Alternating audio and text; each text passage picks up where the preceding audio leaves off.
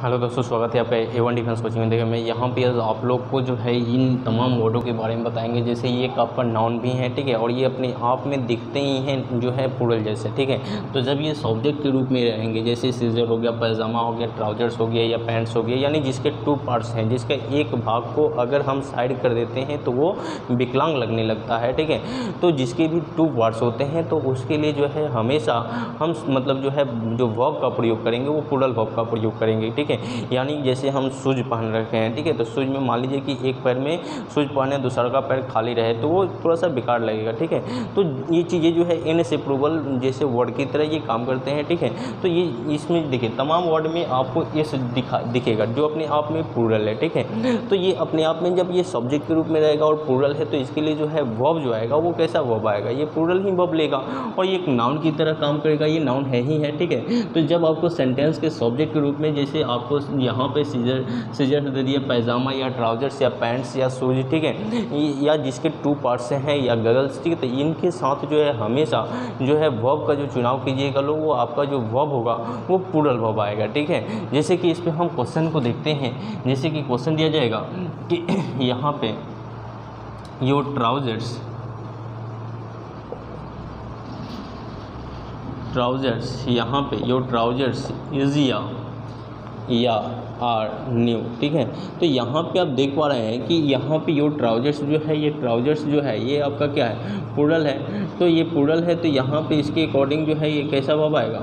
यहाँ पे जो वर्ब आएगा, वो कैसा वर्ब आएगा जी? पुरल ये का प्रयोग नहीं करेंगे, आर का प्रयोग करेंगे, ठीक है? तो इस तरीक़ा से जब भी आपको ये चीज़ें जब रहेंगी तो इसके साथ जो है, हमेशा पुरल वर्ब का चुनाव करते हैं सिंगुलर का प्रयोग नहीं करते हैं, ठीक है? इस पर और भी क्वेश्चन हम देखते हैं।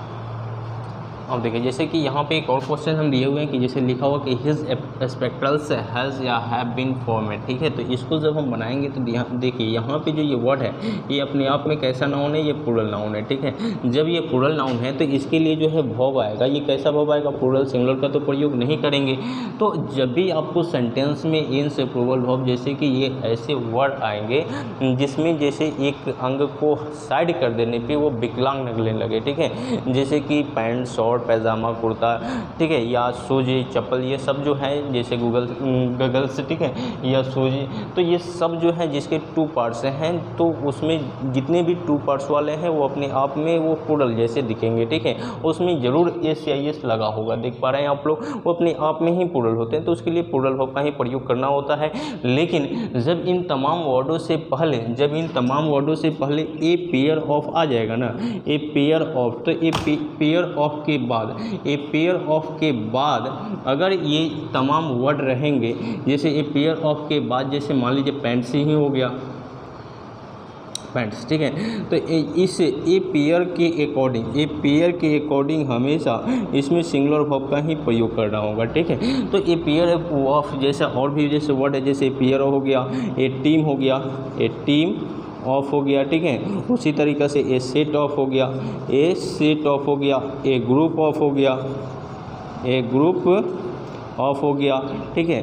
ये ग्रुप ऑफ़ हो गया सेट ऑफ़ हो गया टीम ऑफ़ हो गया बंच ऑफ़ हो गया, या एक गलेक्सी ऑफ़ हो गया। इन तमाम वर्डों के बाद, इन तमाम वर्डों के बाद जो नाउन आएगा, वो पुरल नाउन होगा, वो पुरल नाउन होगा, लेकिन इसके लिए जो वॉब आएगा, वो कैसा वॉब होगा जी? सिंगुलर वॉब आएगा, ठीक है?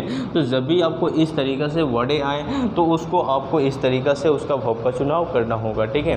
अब जब a team of a set of a group of a bunch of a galaxy of a dozen of ठीक है? तो ये सब जो है अपने आप में अगर सब्जेक्ट के रूप में रहेंगे तो इसके बाद, यानी प्रीपोजिशन ऑफ़ के बाद जो नाउन होगा ना, वो पुरल नाउन होगा। लेकिन जो वर्ब का चुनाव करना होगा, वो सिंगुलर वर्ब होगा, ठीक है? चलिए, इस पर जैसे हम क्वेश्चन देखते हैं, जैसे यहाँ क्वेश्चन दिया जाएगा a pair pair of trousers ठीक है? यहाँ पे ट्राउजर्स ट्राउजर्स ईजिया आर न्यू चलिए इस क्वेश्चन को हम लोग बनाते हैं तो देखिए ए पेयर ऑफ़ ट्राउजर्स तो ट्राउजर्स अपने आप में जो है, ये कैसा नाउन है? एक पुरल नाउन है। तो पुरल नाउन है तो ए पेयर के अकॉर्डिंग पेयर मतलब जोड़ा बता रहा है तो ए पेयर के अकॉर्डिंग यहाँ पे आप लोग जो प्रयोग कीजिएगा एज का प्रयोग कीजिएगा आर का प्रयोग मत कीजिएगा, ठीक है? चलिए इस पर जो एक एग्ज़ाम्पल को हम लोग देख लेते हैं, इस पर जैसे कि दिया जाएगा a team of a team of players a team of players इजिया are good तो इसको जब आप लोग बनाइएगा ना तो ये टीम ऑफ़ ऑफ़ के बाद जो प्रीपोजिशन ऑफ़ के बाद जो नाउन है, ये कैसा नाउन है? ये एक प्लूरल नाउन है। अब ये टीम एक पूरे समूह को बताया तो जब ये टीम लग जाए ए सेट ऑफ़ लग जाए एक ग्रुप ऑफ़ लग जाए तो इन तमाम वर्डों के बाद जो नाउन आएगा, वो फिक्स है कि प्लूरल नाउन होगा। लेकिन जो a pair a group a team a set के लिए जो वर्ब आएगा, वो सिंगुलर वर्ब आएगा। तो यहाँ पे ए टीम के अकॉर्डिंग हमारा जो वर्ब आया इज़ का प्रयोग करेंगे, आर का प्रयोग नहीं करेंगे। तो इस तरीक़े से हम जाने इन सभी वर्डों को इस पर भी आपके एग्ज़ाम में क्वेश्चन रहते हैं, ठीक है? तो यहाँ पे हम जो भी पढ़ा रहे हैं, वीडियो थोड़ा हम छोटे छोटे बना रहे हैं, लेकिन अपने आप में बहुत इंपॉर्टेंट ये सब वीडियो है। और ऐसे ही वीडियो जैसे इससे थोड़ा लॉन्ग वीडियो जो है, जिसका कंप्लीट जो हर एक चैप्टर का जो है वीडियो हम आप यहाँ पे बना चुके हैं, जिसका लिंक डिस्क्रिप्शन में दिए हुए हैं। जाइए उन सभी वीडियो को देखने की प्रयास कीजिए, और चैनल पर नए हैं तो ज़रूर चैनल को सब्सक्राइब कीजिए।